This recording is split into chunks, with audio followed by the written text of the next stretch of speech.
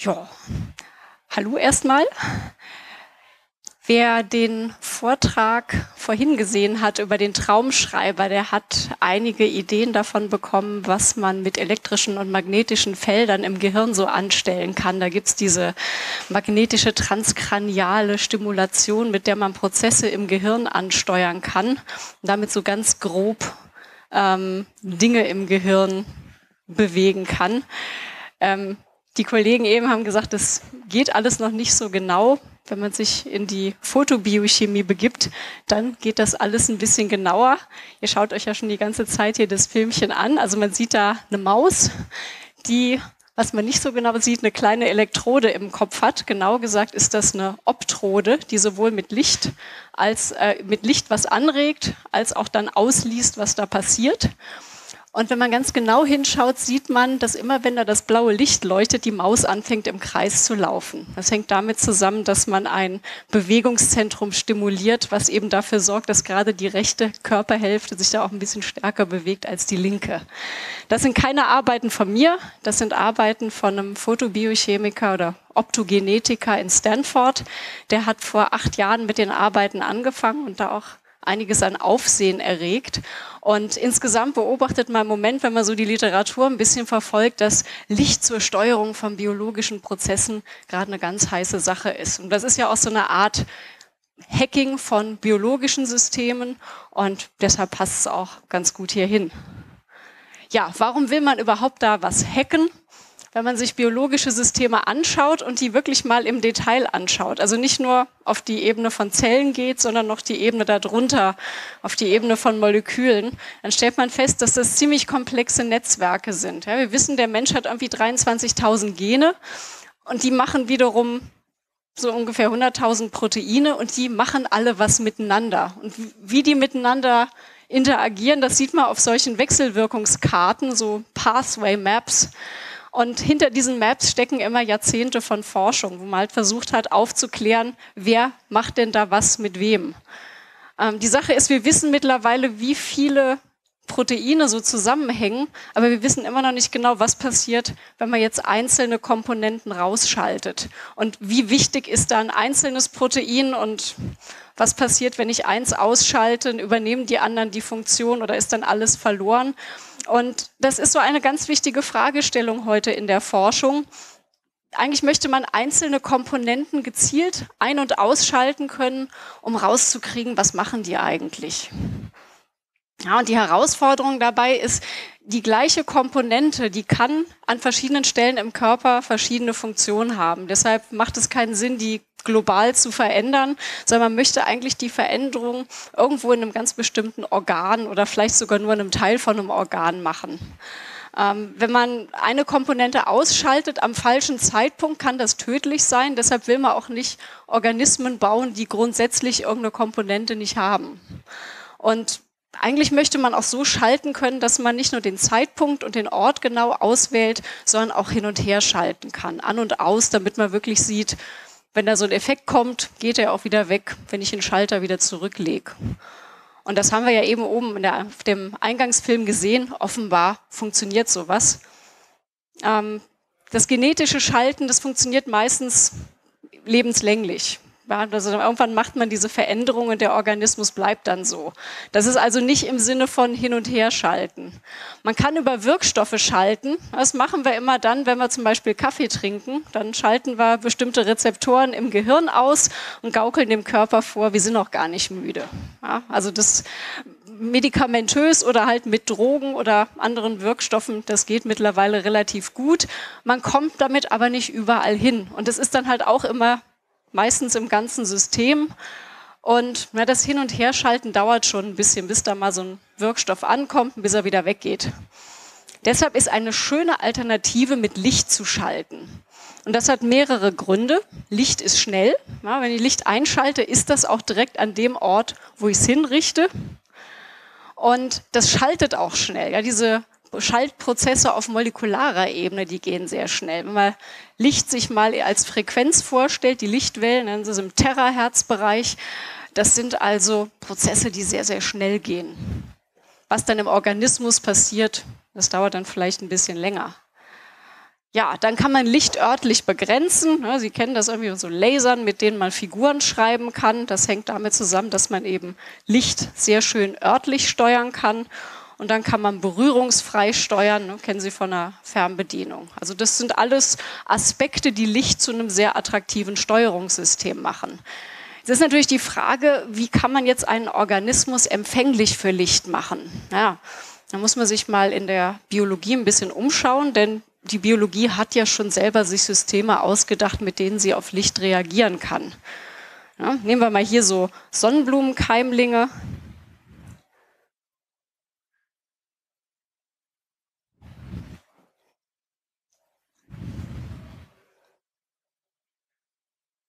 Die richten ihre Blätter immer so aus, dass sie möglichst senkrecht zum Licht stehen, damit sie möglichst viel Lichtenergie aufnehmen können, um über Photosynthese ihre Nährstoffe herzustellen.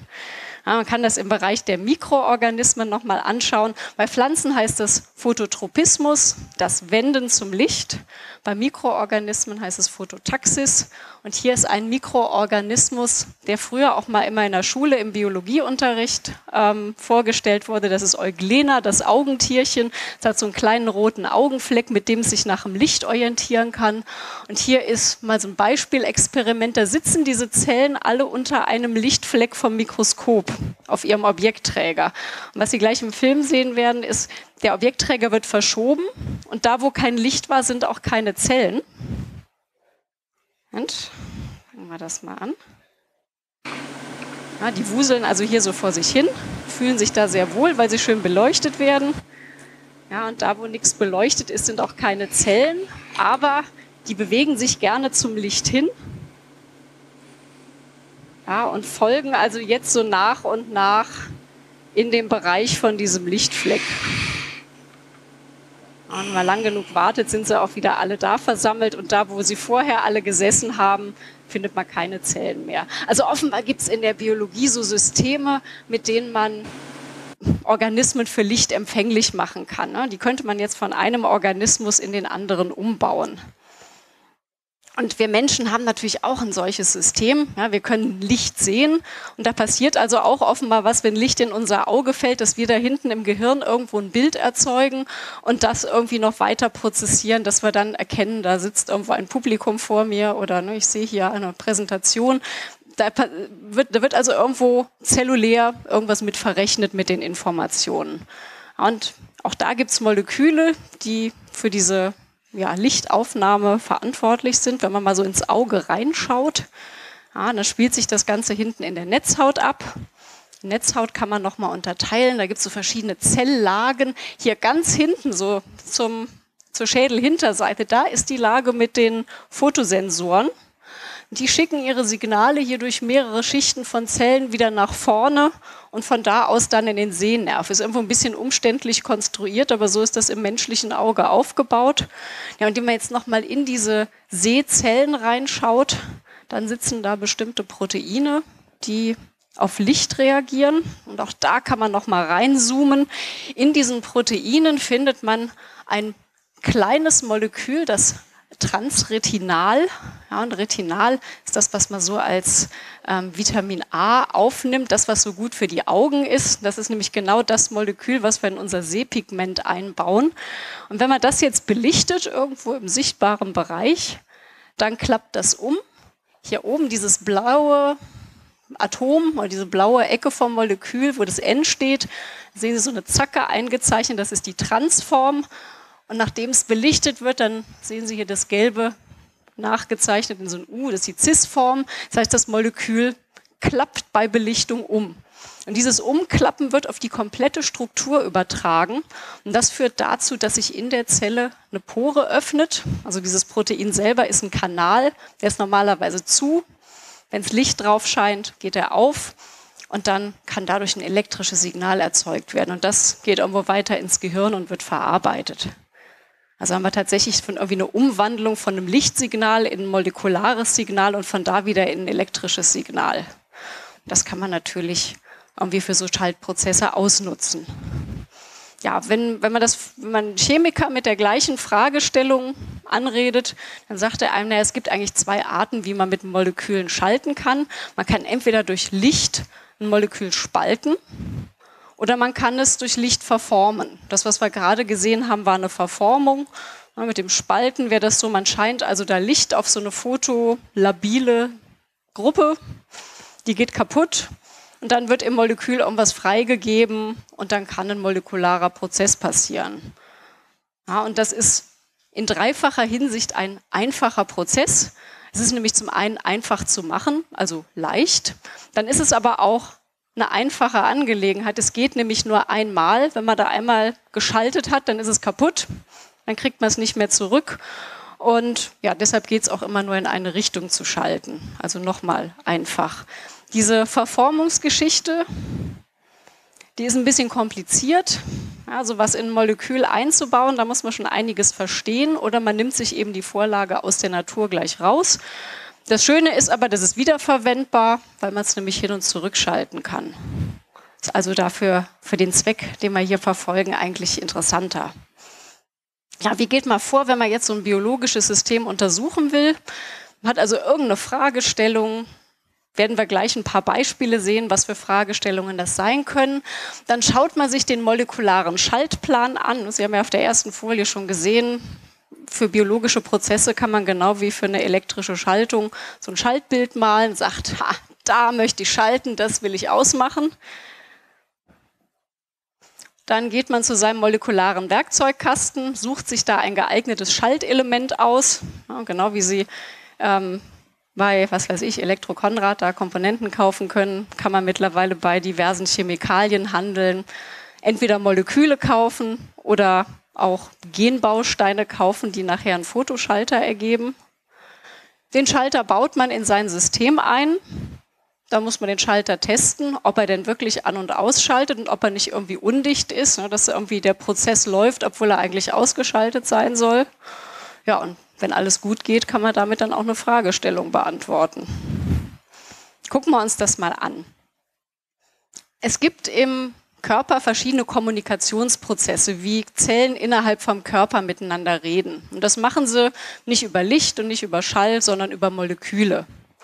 Ja, und es gibt dann eine Senderzelle hier vorne, die schickt eine chemische Botschaft an eine Empfängerstelle und die macht dann irgendwas. Ja, Beispiel könnte sein eine Zelle, die am Entzündungsort sitzt, die ruft, die schickt einen molekularen Hilferuf aus und ruft damit die zelluläre Feuerwehr, also unser Immunsystem. Ja, und diese Stoffklasse, die das macht, die heißen Chemokine. Die werden eben bei verärgerten, von verärgerten Körperzellen ausgeschüttet, wenn da zum Beispiel Bakterien eingedrungen sind. Ja, also Molekül, was gleich Hilferuf ist. Die werden dann von weißen Blutkörperchen, die nennen wir Leukozyten, von denen werden die erkannt. Ja, und das ist so eine Art molekulare Feuerwehr. Und wenn diese Zellen erkennen, dass da ein Hilferuf ausgeschickt wurde, dann wandern die zum Entzündungsort ein und schütten da eine ganze Reihe von Enzymen aus, fressen Bakterien auf und sorgen dafür, dass diese Entzündung auch wieder weggeht. Ja, das ist also ganz wünschenswert. Es kann auch daneben gehen. Ja, es können auch, wenn das Ganze nicht gestoppt wird, können da chronische Entzündungen draus folgen, Allergien, ja, und so Prozesse, die spielen auch bei Autoimmunerkrankungen und Krebs eine Rolle. Deshalb sind diese Signalmoleküle ähm, ein recht attraktives Forschungsziel. Ja, und im Grunde sind diese Chemokine auch so eine Art molekularer Zündschlüssel. Denn wenn die an einen bestimmten Rezeptor in der Zelle binden, dann wird in der Zelle ein Prozess eingeschaltet, durch den die Zelle dann zum Laufen angeregt wird. Und Sie sehen, das ist hier irgendwie schon eine recht komplizierte molekulare Struktur. Das sind auch hier wieder stark vereinfachte Molekülmodelle. Und was man da aber erkennen kann, ist, dass da offenbar so eine, so wie so eine Schlüssel-Schloss-Passung ist. Und wenn man dieses System manipulieren will, könnte man zum Beispiel eine Blockade auf diesen Schlüsselbad setzen, auf molekularer Ebene. Und diese Blockade könnte man dann durch Licht wieder entfernen. Das haben Kollegen von uns gemacht. Also dieses Caging-Prinzip, die Idee, man sperrt ein Molekül in einen Käfig, der sich durch Licht wieder öffnen lässt. In der Fachliteratur findet man das unter dem Namen. Und die Idee ist eigentlich, das Bindemolekül kriegt diesen Knubbel aufgesetzt, der wieder abspaltbar ist. Ja, und dann scheint man Licht drauf, diese Bindung geht kaputt, ja, die sperrige Gruppe geht weg und dann kann, wenn alles gut geht, die können diese beiden Moleküle wieder aneinander binden und den biologischen Prozess auslösen. Ja, und dann gibt's hier diese Werkzeugkiste von fotoschaltbaren Gruppen, die man irgendwo loswerden kann. Müssen wir uns jetzt nicht im Detail drüber unterhalten. Gibt welche, die die Biochemiker besonders gerne verwenden. Und wichtig dabei ist, das müssen sperrige Moleküle sein. Ja, die müssen so groß sein, dass sie da eine Wechselwirkung verhindern können. Die sollen auch möglichst viel Licht absorbieren, damit der Prozess schnell vorangeht. Soll auch möglichst Licht mit nicht zu viel Energie sein, damit man das biologische System nicht kaputt schießt. Und das soll effizient laufen. Ja, das Licht, was da aufgenommen wird, das soll auch für die Spaltung der Bindung draufgehen und nicht für irgendwelche, was weiß ich, Fluoreszenzprozesse oder was Moleküle sonst noch mit Lichtenergie machen können. Ja, und dann soll das auch alles schön definiert ablaufen und nicht komische Nebenreaktionen machen. Und hier ist so ein Beispiel für so ein Molekül mal aufgezeichnet. Und Sie sehen also, auch wenn man sich sonst mit Molekülen nicht so viel auskennt, die sind irgendwie groß und unhandlich. Und da gibt es irgendwo eine Spaltstelle hier, das sieht schon so ein bisschen für einen Chemiker so ein bisschen aus wie Kohlendioxid. Ja, so ein NO2 ist immer eine Gruppe, da, da wird gerne Licht aufgenommen. Und wenn ich jetzt hier Licht draufstrahle, dann fliegt das CO2 hier raus und die diese sperrige Gruppe diffundiert weg und das Protein hat jetzt wieder seine normale Gestalt und kann noch seine normale Funktion ausführen. Das hat man mal mit einem dieser Chemokine gemacht. Das Chemokin heißt Rantes. Ich nehme schon mal vorweg, Biomoleküle haben oft sehr lange, unhandliche Namen, die irgendwo aus ihrer Entdeckungsgeschichte kommen. Der Kai geht gleich in seinem Vortrag da auch nochmal drauf ein, was man so, was so bei diesen langen Namen ähm, passieren kann. Ähm, wenn wir mit so chemischen Schutzgruppen arbeiten, ist das für einen Chemiker toll, weil das kann er alles synthetisieren. Und dann hat er eben ein Molekül, was eben in der Funktion gesperrt ist. Dann muss er jetzt noch gucken, ist das fotoschaltbar? Ja. Und dann macht man also Versuche, man setzt das Molekül ein, schaut sich an, wandern Zellen, wenn ich dieses Molekül in meine Apparatur gebe. Und dann sieht man also, wenn ich das unveränderte Molekül nehme, hat das eine gewisse Grundaktivität. Wenn ich das chemisch veränderte Molekül nehme, dann hat Wandern überhaupt keine Zellen mehr oder viel weniger. Und wenn ich das jetzt belichte, das ist die rote Linie, dann ähm, ist es also offenbar wieder freigeschaltet und ähm, aktiviert. So, jetzt kommen wir mal zu der Anwendung in biologischen Systemen. Wir haben hier so eine einzelne Immunzelle, die schwimmt in einer Lösung mit diesem chemisch veränderten Lockstoff. Und dieses kleine grüne Kreuz darunter ist der Punkt, wo gleich mit einem Laser drauf gestrahlt wird. Und dann fährt man mit dem Laser durch die Lösung und setzt immer da, wo stark belichtet wird, dieses Molekül wieder frei. Also man schießt die Schutzgruppe ab. Ups, so sollte das nicht aussehen. So, und jetzt malen wir hier in grün den Laserpfad und in rot malen wir den Pfad nach, wo die Zelle lang kriecht. Und Sie sehen, die ist ganz versessen darauf, immer dem frisch freigesetzten Molekül hinterher zu laufen. Ja, und das kann man auch mit vielen Zellen auf einmal machen. Ja, da hat sich also hier mal ein, ein Forscher von den Kollegen da einen Spaß gemacht, ein Herzchen in die Lösung reinzuschreiben. Man kann ja mit diesen Lasern alle möglichen Muster malen.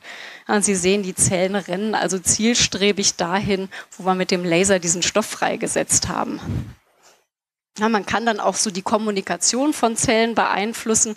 Hier sind zwei verschiedene Sorten von Immunzellen, die gerade miteinander kommunizieren. Ja, da werden irgendwie so über die Oberflächenmoleküle Informationen ausgetauscht.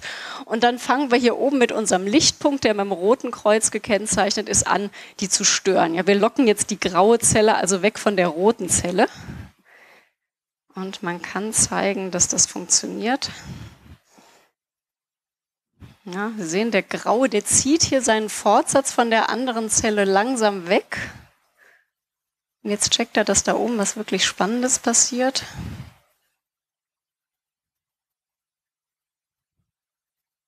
Ah, jetzt fängt er an, da Fortsätze auszufahren und lässt jetzt die andere Zelle links liegen und hat da also wirklich größeres Interesse dran, diesem künstlichen Lockstoff nachzulaufen.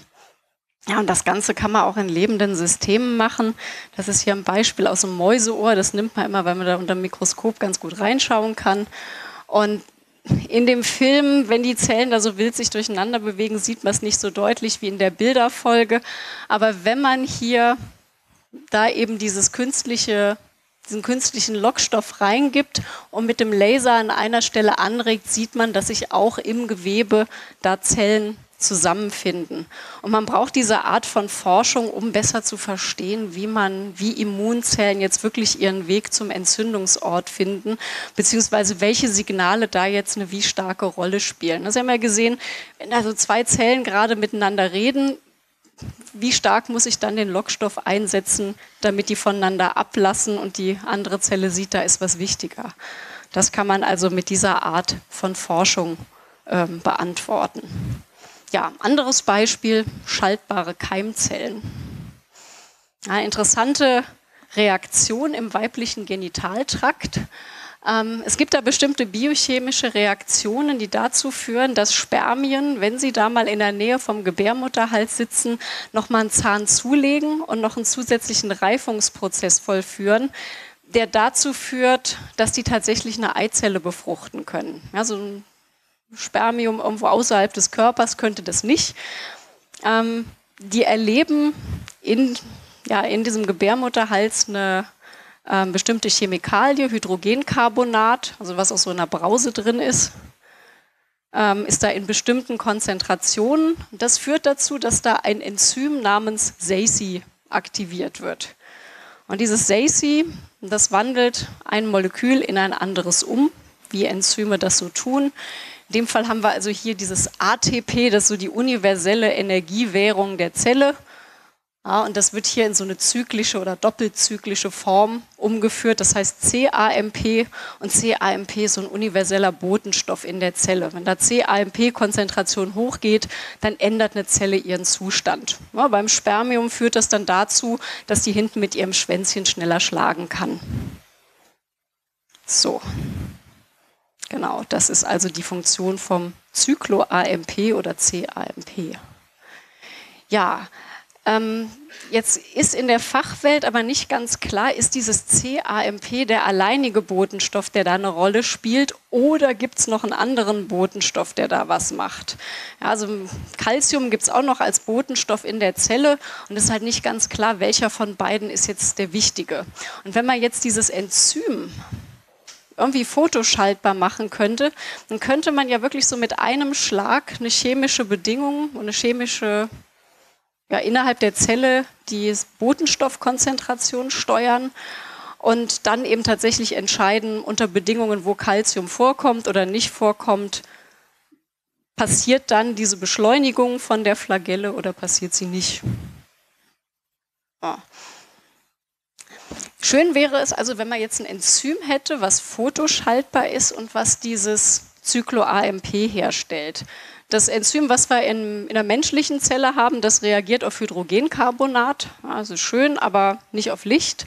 Es gibt aber einen Tiefseeorganismus, die Vegiator, die bilden am Meeresboden so ganze Matten, die haben ein bisschen abgefahrenen ähm, Stoffwechsel was sie aber vor allem haben, ist ein Enzym, was auf Licht reagiert. Ja, wenn sie da halt irgendwie ihre Höhe verändern und dann auf einmal Sonnenlicht abbekommen, dann muss im Organismus da etwas Bestimmtes bei diesen Bakterien passieren. Und für die Wissenschaftler ist das natürlich toll. Da kann man dieses Enzym nehmen und für Experimente im Reagenzglas einsetzen. Das Enzym heißt BPAC ja, weil das AC steht immer für Adeninzyklase, Enzym, was diese zyklische Verbindung macht. P steht für photoschaltbar und das kleine B für diese Bigiator, aus dem der Organismus ursprünglich, das Enzym ursprünglich kommt. Ja, es hat hier so kleine Antennenmoleküle, ähm, die auf Licht reagieren, auf blaues Licht genau gesagt. Und das eignet sich eigentlich sehr schön als Werkzeug. Ja, und da haben wir das Schaltprinzip des Performance.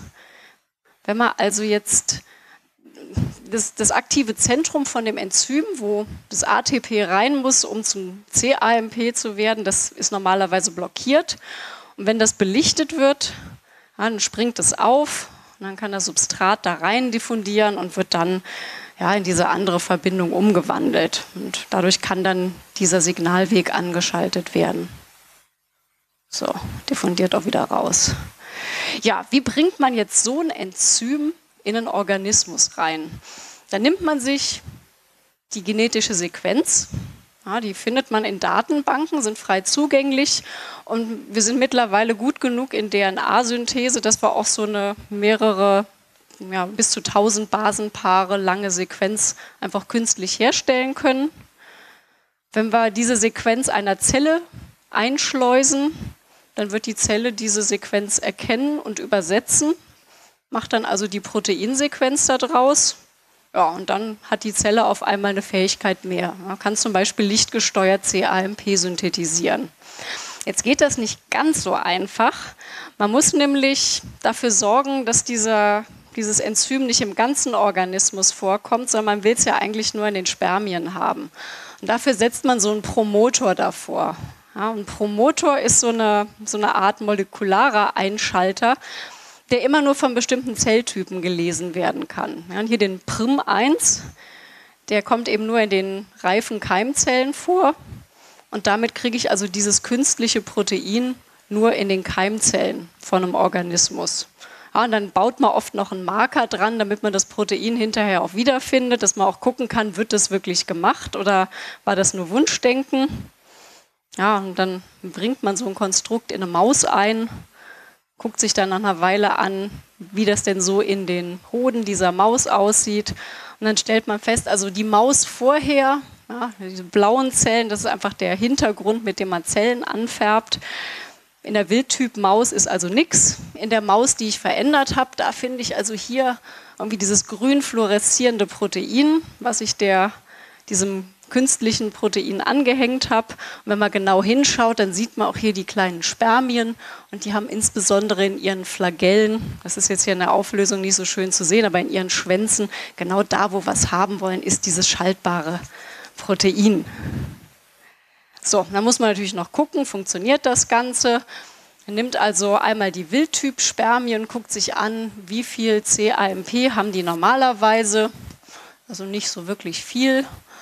Wenn wir Hydrogencarbonat zugeben, dann fängt dieses SACI an zu arbeiten und macht also ganz viel von dem Enzym.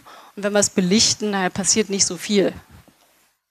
Wenn wir jetzt unsere künstlichen Zellen nehmen oder unsere manipulierten Zellen, dann sieht man also, normalerweise ist da nicht so wahnsinnig viel Aktivität. Die reagieren auch immer noch auf das Hydrogencarbonat, aber die können jetzt auch auf Licht reagieren.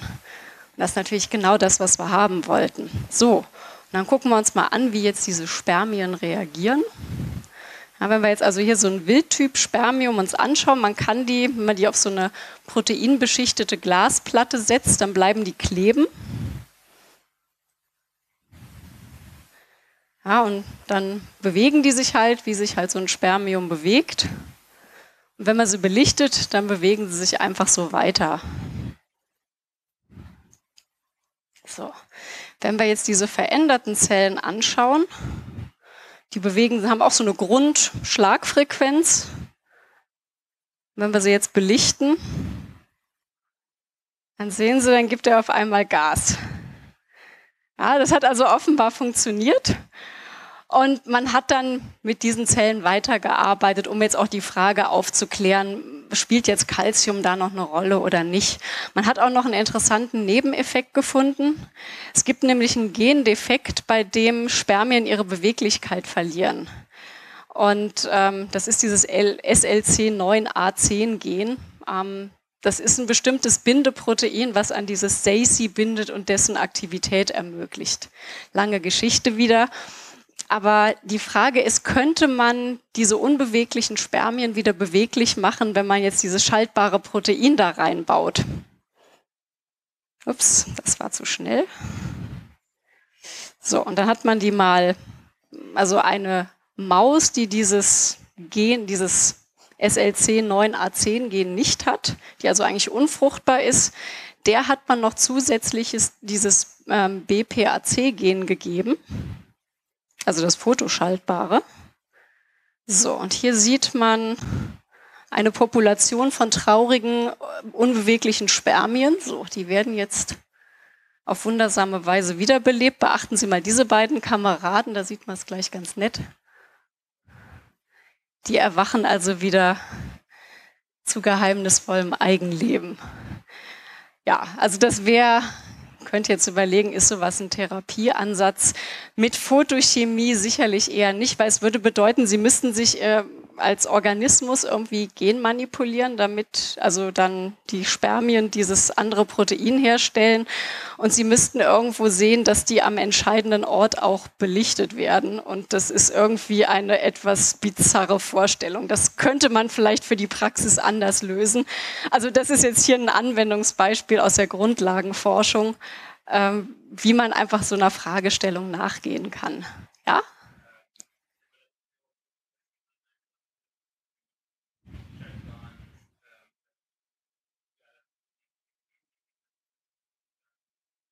Natürlich. Das wäre die, wäre die einfache Variante. nee, das ist vollkommen richtig. Also wenn man es medizinisch machen würde, würde man sogar versuchen, also die Sache ist ja, das Gen fehlt nicht komplett, es ist nur nicht aktiv. Und dann wäre es eher zu überlegen, baut man da eine aktive Variante noch ein. Da gibt es mittlerweile auch andere gen gentechnische Techniken, mit denen man das ähm, ja zielführender machen kann als hier. Aber da ging es auch wirklich eher darum, so einen Signalweg aufzuklären. Ja?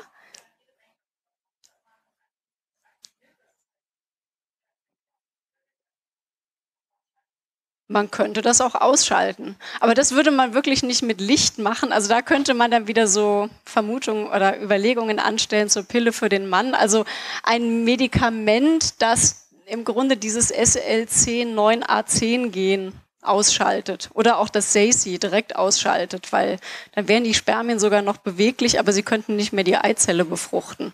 Das ist halt die Frage, wer von beiden dann die Pille nehmen will und man weiß auch nicht, wo das noch Nebenwirkungen im Körper hätte. Da gehen die Autoren jetzt nämlich nicht drauf ein, wo das gleiche Protein im Körper noch eine Rolle spielt. Aber das sind Fragen, mit denen sich ja die Fortpflanzungsmediziner und, und Biochemiker tatsächlich beschäftigen. Das kann ich machen. Also die Frage gerade war, könnte man das auch nehmen als Verhütungstechnik, ähm, indem man eben Spermien in der Umkehrreaktion wieder inaktiv macht.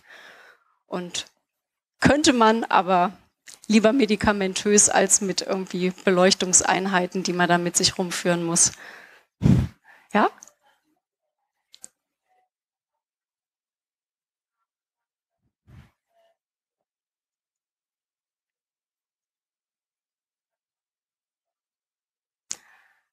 Das waren, glaube ich, noch nicht mal transgene Mäuse, denen hat man nur vorher mit einer Bluttransfusion diese veränderten Zellen reingegeben.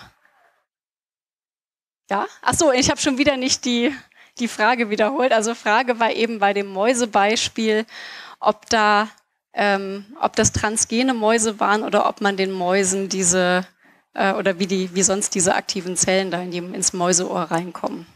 Also da hat man verschiedene Möglichkeiten. Ich habe noch ein Beispiel, denn Sie warten wahrscheinlich drauf, wie kommt man jetzt dazu, so eine Maus mit so einer Elektrode im Kopf irgendwie ansteuern zu können. Denn das ist jetzt so das letzte Beispiel, was ich mitgebracht habe, also schaltbare Gehirnfunktionen.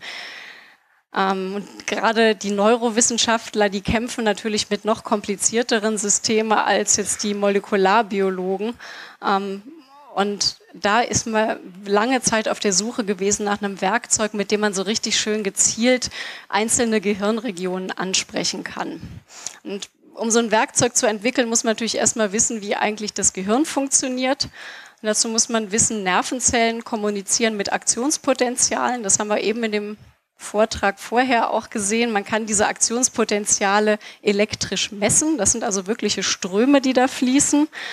Und wenn wir uns jetzt mal so ein Neuron noch mal näher anschauen, das ist nochmal die Abbildung von der Netzhaut. Da gibt's also Axone, das sind die Teile von der Nervenzelle, über die ein Reiz weitergeleitet wird.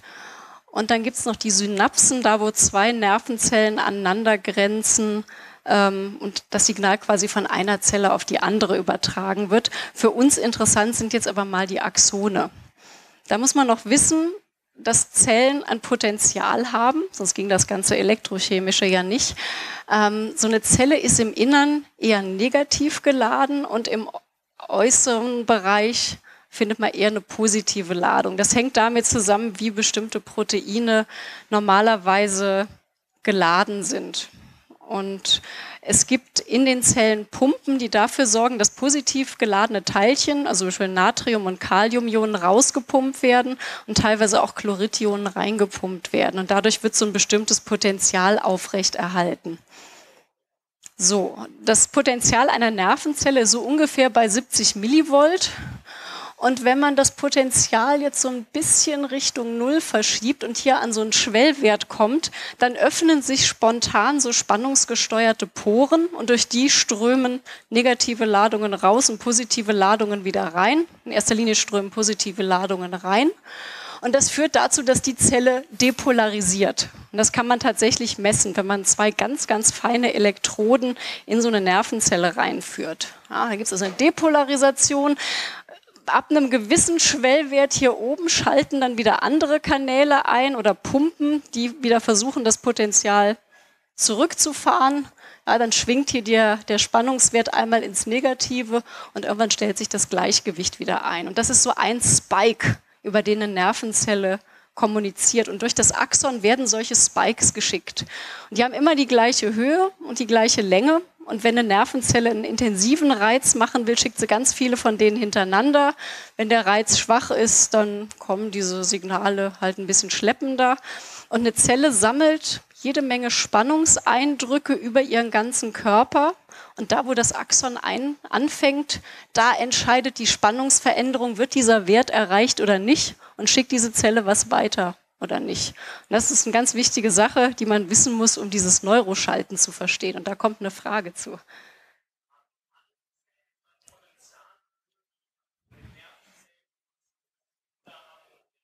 So ein Potenzial haben wir in den meisten Zellen. Diese können ein bisschen unterschiedlich hoch sein. Ähm, auch selbst innerhalb der Zelle an den Organellen finden wir Potenziale. Die werden auch zur Energieerzeugung genutzt und auch für Transportprozesse, aber nicht zur Kommunikation. Das Kommunizieren, soweit wir bisher wissen, machen nur die Nervenzellen. Ich werde schon wieder gerügt, weil ich die Frage nicht wiederholt habe. Es ging darum, ob alle Zellen ähm, dieses Potenzial haben oder nur die Nervenzellen. Bis, bis zum Ende des Vortrags habe ich es. So. Ja, wir hatten schon mal diese Geschichte mit dem Retinal im Auge. Ja, das dieses Protein, wo das reingehört. Das ist das Rhodopsin. Den Schaltprozess haben wir jetzt gesehen. Da schaltet irgendwo so ein kleines Molekül hin und her, verändert dadurch die Proteinstruktur und dadurch wird eine Pore geöffnet. Ja, mit Erinnerung an die Folie von gerade. Diese Pore ermöglicht also einen Potentialausgleich und dadurch kann also so ein Aktionspotenzial gestartet werden. Je nachdem, wie viel Licht in, in, auf so eine Zelle trifft, ist eben auch das Signal unterschiedlich stark. So, so ähnliche Proteine finden wir nicht nur im Menschen und auch nicht nur im Auge von Säugetieren, sondern auch in Bakterien. Ja, also zum Beispiel hier in der Grünalge, die da oben abgebildet ist, Chlamydomonas, ist irgendwie so ein Haustierchen von den Mikrobiologen. Da finden wir also gleich zwei verschiedene sogenannte Channel-Rhodopsine. Das Channel deutet an, dass es sich da um einen Kanal handelt, durch den Ionen fließen können. Sie sehen schon, da gibt es mal eine Protonenpumpe und mal eine Kationenpumpe. Ähm, und die dienen bei diesen Chlamydomonas dazu, die Phototaxis zu steuern. Also eigentlich das, was wir da ganz am Anfang in dem Filmchen gesehen haben, wo diese kleinen grünen Zellen dann dem Licht vom Mikroskop gefolgt sind. So, ja, und dann gibt es noch weitere in anderen Organismen, die haben auch verschiedene Funktionen. Also Phototaxis ist da so der Renner. Ähm, bei Organismen, die in hohen Salzkonzentrationen leben, helfen solche Ionenpumpen dabei, Wasser aufzunehmen, indem da der osmotische Druck verändert wird, damit Wasser in die Zelle einströmt und die ihr Zellinneres verdünnen kann. Und manche Zellen nutzen das auch tatsächlich für so eine Art primitives Sehen. Ja, oder auch um, um zu hohe Lichtintensitäten zu vermeiden. Und das Interessante ist, dass jetzt diese Kanäle unterschiedliche Ionen pumpen und deshalb unterschiedlich auf Neuronen wirken. Wenn ich hier so ein Channelrhodopsin nehme, so eine Kationenpumpe, dann führt das dazu, dass das Membranpotenzial ansteigt. Das heißt also, wenn ich ein Channelrhodopsin mit Licht aktiviere, ja, dann kann ich über den Schwellwert von so einer Nervenzelle kommen und damit ein Aktionspotenzial auslösen. Wenn ich so eine Anionenpumpe nehme, ja, also NPHR heißen die wieder als Abkürzung, das ist ein Halorhodopsin, ja, lange Abkürzung, die sind nochmal gentechnisch verändert, damit sie ein bisschen besser in Fremdzellen da landen, wo, sie, wo man sie gerne hätte. Ähm, die führen dazu, dass es zu so einer Hyperpolarisation kommt. Also ich gehe dann unterhalb, die, also unterhalb von den 70 Millivolt und da, deshalb kann so eine Zelle schwerer erregt werden. Das heißt, die ist weniger aktiv und es muss ziemlich viel Reiz von außen kommen, bis die dann nochmal ein Aktionspotenzial schickt. Das heißt also, ich habe jetzt zwei Kanäle und die eine Sorte Kanal kann ich zum Einschalten nehmen und die andere zum Ausschalten von Nervenzellen. Und damit habe ich natürlich die, die Möglichkeit, so neuronale Prozesse zu steuern. So, interessante Frage, kann man Essverhalten steuern? Ne? So ein alter Traum, irgendwie so satt auf Knopfdruck oder so. Ne? Viele äh, braucht man, bräuchte man weniger Selbstbeherrschung bei der Diät. Ähm, vielleicht ist auch die Umkehrrichtung hilfreich, wenn irgendwo man unter Appetitlosigkeit leidet, dass man vielleicht den Appetit wieder einschalten könnte. Und das ist natürlich eine Forschungsfrage, die jetzt weit über so eine Spielerei mit Photochemie hinausgeht, wo aber die Photochemie oder Optogenetik helfen kann, ähm, Grundsatzfragen zu klären. Normalerweise wird Essensdrang gestoppt dadurch, dass man satt ist oder dass einem übel wird oder dass es halt nicht schmeckt oder irgendwas eklig ist. Dann vergeht einem der Appetit. Auch wenn man plötzlich erschreckt und unter starkem Stress steht, dann geht auch der Appetit runter. Und man hat herausgefunden, es gibt so einen Gehirnbereich, der hat mit der Steuerung dieser Prozesse zu tun. Das ist die Amygdala. Ah, die sitzt also hier unten. Einer der älteren Teile des Gehirns. Und ganz speziell im zentralen Teil dieses, dieses Untergebiets des Gehirns sitzen bestimmte Zellen, die reagieren auf eine Substanz namens GABA, Gamma-Aminobuttersäure, und die wirken inhibitorisch. Das heißt, die blockieren irgendwas. Ja, und blockieren zum Beispiel einen Fressimpuls. Und die kann man besonders gut daran erkennen, dass sie das Protein PKC herstellen. Was auch immer das ist. Die Biochemiker können das als Marker benutzen, um diese Zellen schneller von den anderen Zellen zu unterscheiden. Ja, und diese Zellen reagieren auf ein Sättigungshormon und die reagieren auch auf Substanzen, die Übelkeit verursachen. Und und die werden auch aktiviert, wenn jetzt so ein ganzer Organismus ähm, zum Beispiel bittere Stoffe aufnimmt. Man nimmt da immer so Chininlösung, also aus der Bitterlemon den Geschmacksstoff, den mögen Mäuse nicht besonders, dann hören die auf zu trinken und das kann man über Elektroden, in dem Fall außerhalb vom Gehirn, verfolgen, dass da bestimmte Signale losgehen. Wenn man das Gehirn dann genauer anschaut, sieht man, es sind eben genau diese PKC-Delta-Plus-Zellen die da angeschaltet werden. Die sind also offenbar dafür verantwortlich, dass einem der Appetit vergeht. Ja. Und die Überlegung ist, wenn man jetzt diese Neuronen gezielt stilllegt, dann müsste doch eigentlich der Essensdrang aufhören. Und wenn man sie künstlich anregt, dann sollte so ein Organismus mehr fressen, als er als eigentlich gut für ihn ist. Ja, und dann nimmt man sich die passenden Werkzeuge dazu. Wir versuchen also zuerst mal das Ganze, den Appetit auszuschalten. Dazu müssen wir diese PKC-Neuronen einschalten. Und dafür nehmen wir so ein Channel-Rhodopsin. Ja, und damit wir das jetzt in die Maus reinbekommen, müssen wir das in ein Virus verpacken. Das ist jetzt nicht so ein normaler Virus, der jetzt irgendwo von Maus zu Maus springt. Der ist so aufgebaut, dass der zwar Erbgut in Zellen bringen kann, aber der vermehrt sich nicht in den Zellen. Das heißt, der ist nicht ansteckend. Also er infiziert Zellen einmal, aber die Zelle macht daraufhin nicht noch mehr Viruspartikel, sondern der bleibt halt in der Stufe hängen. So, den packt man in die Maus rein, am besten ins Gehirn. Ja, die infizierten Neuronen stellen diesen Kanal her und bauen es in die Membran ein. So, und dann kommt man zu den Mäusen, wie wir sie auf der Eingangsfolie gesehen haben. Die bekommen so eine Optrode eingebaut, die halt einmal einen Lichtimpuls in die besagte Gehirnregion bringen. Und die ja, misst auch gleichzeitig Ströme im Gehirn. und innerhalb dieser Gehirnzellen finden wir jetzt diese künstlichen Kanäle. In dem Fall wären das so Natriumkanäle. Und wenn man die jetzt mit einer passenden Wellenlänge belichtet, dann schicken diese Neuronen Spikes. Sie sehen hier unten immer diese kleinen Lichtpulse und darauf reagieren also die Neuronen mit einem Aktionspotenzial. Das funktioniert also prima. Und dann kann man sehen, naja, also wenn man gefütterte Mäuse aktiviert, fressen die weniger als andere Mäuse. Die aktivierten sind hier immer in Rot gekennzeichnet. Ähm, wenn man die Mäuse 24 Stunden hungern lässt und sie dann fressen lässt, dann fressen sie ja ein bisschen mehr. Aber auch da kann man ihnen mit diesem Rezeptor, mit dieser Pore, wenn man sie einschaltet, den Appetit verderben. Aber wenn man das Licht ausschaltet, und das ist der orange Block, dann kommt der Appetit auch wieder zurück. Das ist also wirklich genau steuerbar. Dann kann man solche Diagramme malen, wo man schaut, also wenn ich das Kontrolllicht an eine andere Stelle vom Gehirn strahle, macht die Maus dann irgendwas, weil da ein anderer Prozess ist. Kann man also dann noch beliebig viele Kontrollen machen. Man sieht aber immer schön, sobald ich hier das Aktivierungslicht einmache, zapp, grün ist die Fressphase, hört die Fressphase auf. Ja, und ähm, wenn die Mäuse diese Aktivierung bekommen, dann gehen die auch langsamer an die Nahrung ran und ähm, gehen auch seltener zur Futterquelle. Ja, und weil das alles so abstrakt ist, gibt es das auch nochmal als Video. Hier also unsere ausgehungerte Maus. Ja, macht sich übers Essen her. Da kommt der Lichtimpuls.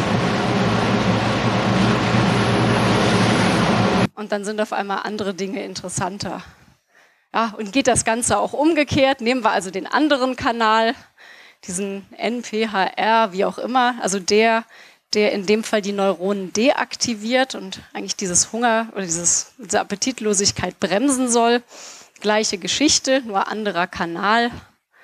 So, dann kann man also erstmal sehen, wenn ich hier Licht einstrahle, das ist der gelbe Balken, dann bleiben die Aktionspotenziale aus. Und ja, die Mäuse fressen dann auch mehr. Ne? Und selbst wenn sie vorher gefüttert wurden, dann nehmen sie trotzdem noch mehr Nahrung auf. Und auch insgesamt, wenn man so die Fressschübe zählt über die Zeit, im Mittel über zehn Mäuse, dann sieht man also, wenn die aktiviert werden durch Licht in diesem Zentrum im Gehirn, dann fressen die mehr. Ja, und zum Schluss noch der Beweis dafür, dass das funktioniert. Da haben wir also eine, eine Maus aus der Serie, Licht an, Maus frisst los.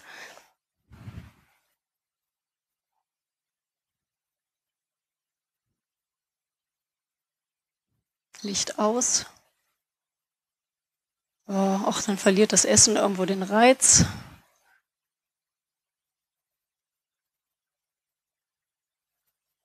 Und Licht wieder an. Und ach, guck mal, da liegt noch ein Krümel und herein damit.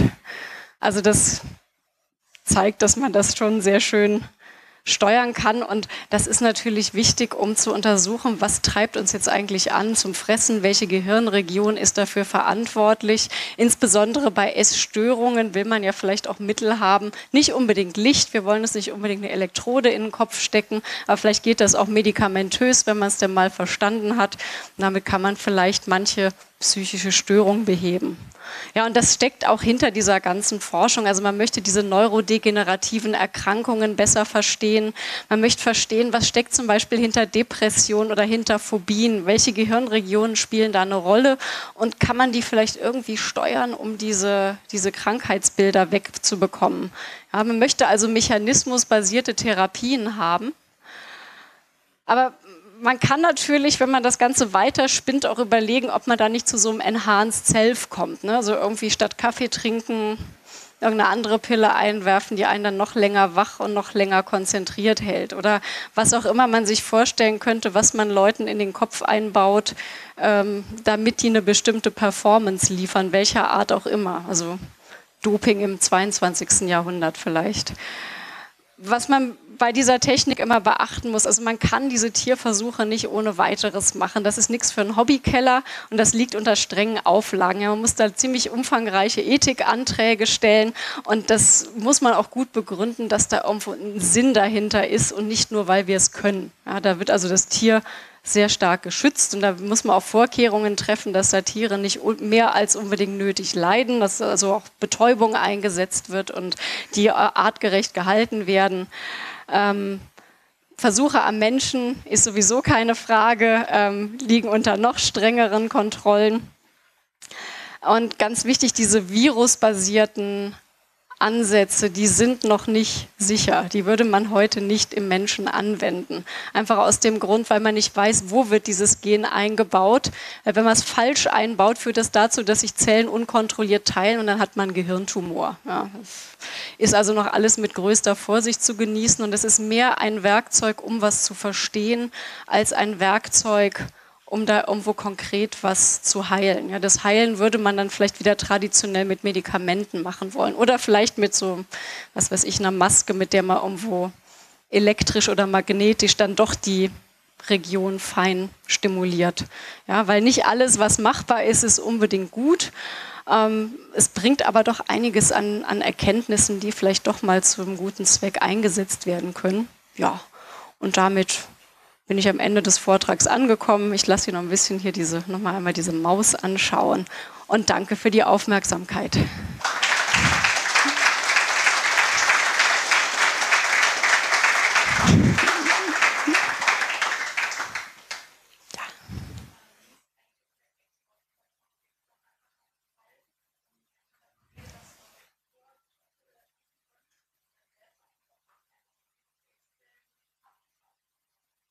Also die Frage ist, kann man das für die Krebsforschung nutzen und könnte man damit auch Krebszellen abschalten? Könnte man theoretisch machen. Da gibt es andere Arten von Phototherapie, wo man versucht, einen Fotosensibilisator in die Nähe von einer Krebszelle zu bringen, der irgendwie eine Oberflächenstruktur erkennt. Und wenn man den bestrahlt, erzeugt der Verbindungen, die die Krebszelle einfach abtöten.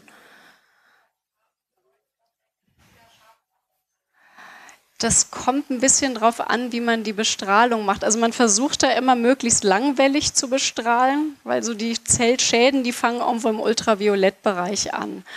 Und man versucht langwellige Strahlung zu nehmen, die so ein, ja, wie gesagt, einen Fotosensibilisator aktiviert, der dann in einer Fotoreaktion ja, reaktive Sauerstoffspezies erzeugt, die dann wiederum nur die benachbarten Zellen angreifen. Und wenn die angegriffen werden, dann sind sie auch richtig kaputt und es ist nicht so, dass sich dann die Nachbarschaft wieder krebsartig verändert. Das ist ja ein, großes Problem bei vielen ähm, Bestrahlungstherapien, dass man zwar den Tumor tötet, aber dafür wieder die nächsten Tumore in der Umgebung theoretisch auslösen kann. Also das sind, sind eher andere Ansätze, die man da wählt. Aber wer weiß, vielleicht findet sich da auch eine, eine Schnittmenge. Also es ist erst seit acht Jahren so richtig publik. Ähm, die Gruppe, die diese Optogenetik-Sachen erforscht hat, die ähm, hat auf ihrer Webseite auch so eine Ressourcenseite, wo man also als wissenschaftliches Labor sich tatsächlich auch diese, ähm, diese Gene bestellen kann und diese, diese Viruskonstrukte und auch die Bauanleitung für so eine Optrode. Also die machen das alles sehr transparent und offen und das wird von der, gerade von den Neurowissenschaftlern total begrüßt. Und vielleicht auch von den Krebsforschern. Wer weiß, vielleicht so ein Gehirntumor, den man irgendwelche Aktivitäten wegbekommt, warum nicht? Ja?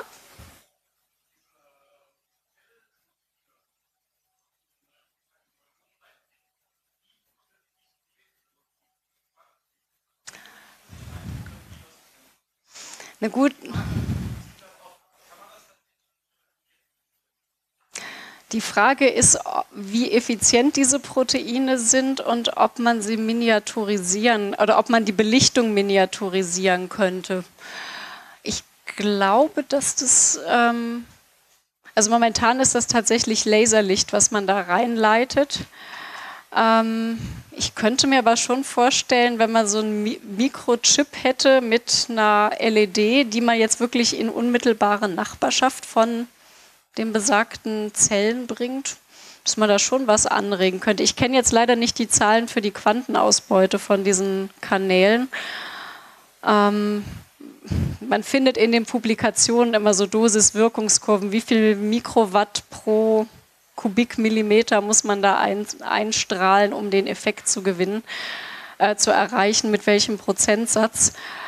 Ähm, könnte ich jetzt nicht sagen, ob da so eine typische, was weiß ich, Mikro-LED ausreichen würde. Aber man ist auf dem Weg dahin. Da ist auch gentechnisch schon einiges passiert, um die Effizienz hochzubringen und die Wellenlänge auch einzustellen.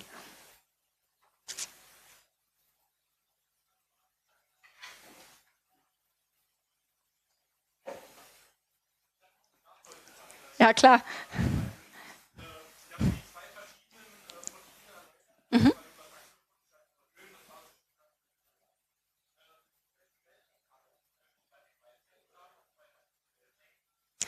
Das könnte man tatsächlich machen. Also ich hatte es auf den Folien draufstehen. Das war ein bisschen, bisschen kleiner geraten. Also hier der, der deaktivierende, der hat 593 Nanometer. Das ist irgendwie im orangen Bereich. Und der aktivierende ist bei 473. Das ist so bläulich-grün. Also das könnte man nebeneinander machen, wenn man entsprechenden Lichtfilter hat. Ich glaube, das wird auch schon gemacht. Es gibt, also das sind auch nicht die einzigen Proteine, die habe ich jetzt nur als Beispiel ausgewählt. Es gibt irgendwo ein Review von 2012, da haben die ja so ein ganzes Schaubild mit verschiedenen Diagrammen. Also da muss man auch gucken, wie lange bleibt so eine Pore offen, wenn man sie aktiviert hat. Es gibt welche, die bleiben lange offen, es gibt welche, die gehen schnell wieder zu. Es gibt welche, die kann man sogar durch Licht wieder bewusst zuschalten. Ähm, also je nachdem, was man eben gerade braucht. Da ist also jetzt echt ja, wie so eine Art Werkzeugkasten verfügbar mit optimierten Proteinen, die man dafür einsetzen kann.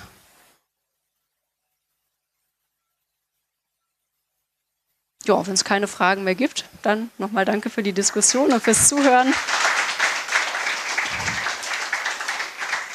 Ich bin noch ein bisschen hier heute. Wenn noch einem Fragen einfallen, können wir da gerne noch drüber reden.